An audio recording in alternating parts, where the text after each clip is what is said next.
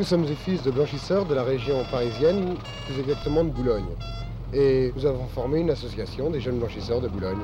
Mais nous ne sommes pas seulement dans Boulogne, nous sommes surtout dans toute la banlieue parisienne. De cette association-là, vous avez eu l'idée d'en faire quelque chose, de faire des voyages. Eh bien, il s'est trouvé qu'il y a trois ans, un certain nombre d'entre nous, trois, ont fait un voyage en Espagne en moto. Et de là, l'idée leur est venue de faire un voyage en voiture, mais plus nombreux. Et puis ils ont lu un livre de jeunes qui étaient partis faire un grand voyage aux Indes avec un autobus. Et puis à partir de ce moment-là, ils ont eu l'idée, eux aussi, d'acheter un autobus. Alors l'association est née et l'autobus a été découvert dans la région de Marseille. On l'a aménagé, puis ensuite nous sommes partis faire notre premier voyage.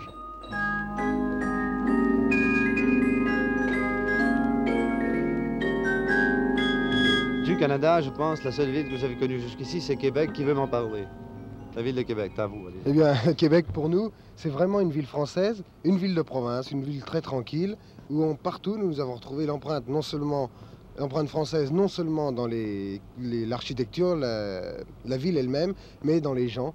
Euh, Je suppose qu'un Français qui serait transplanté à Québec d'un seul coup n'y serait pas du tout perdu. Quand- Il y a quand même des choses différentes. Euh, entre la petite ville, oui, entre la petite ville française, française et la petite ville française qu'est Québec. Il y a sûrement des différences à établir. Lesquelles?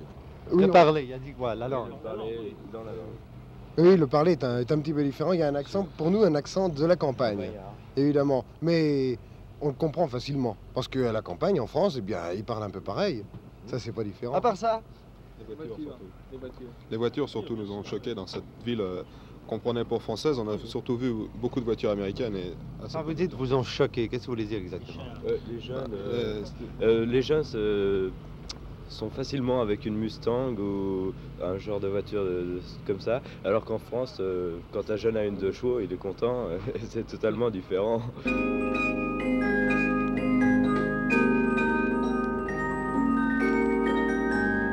Qu'est-ce que vous avez pensé de l'Amérique quand même? Qui veut me répondre à ça? Qu'est-ce que vous avez pensé de la première impression de New York quand on est arrivé là? New York nous a frappé et c'est un, c'est un, c'est- pour un Européen, c'est un contact extrêmement violent euh, lorsque l'on arrive à, à New York. C'est c'est une maison. Ça traduit par quoi cette violence?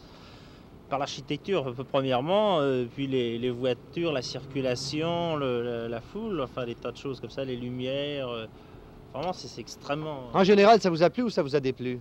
Allez-y franchement.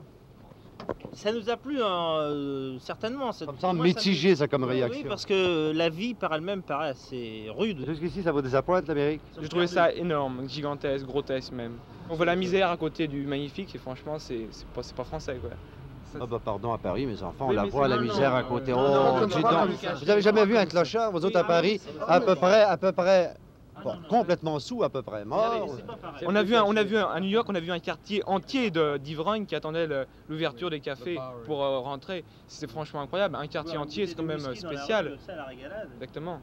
Il y en a beaucoup plus quand même qu'à Paris. C'est cowboy un peu. Mais à Paris, euh, à Paris, les clochards font partie du décor. On les connaît.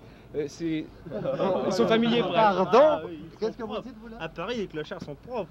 Tandis que là, vraiment, alors là, noir, noir. On va aller à Paris pour redécouvrir Paris, parce que les clochards sont propres à Paris. Ah, ils sont typiques, ça. Ils font partie du décor à Paris. N'avez pas une idée qu'un clochard à New York puisse être euh, Ah typique et puisse faire partie du décor. Non, Non, ça va pas que- avec le non, décor. parce que il, il est, il est enfermé dans un quartier, il n'y a que ça. Tandis qu'à Paris, on verra un clochard euh, dans un coin, n'importe où, et il sera, il sera admis ici. Tandis qu'à New York, il, il est rejeté dans un quartier uniquement et on s'en occupe pas.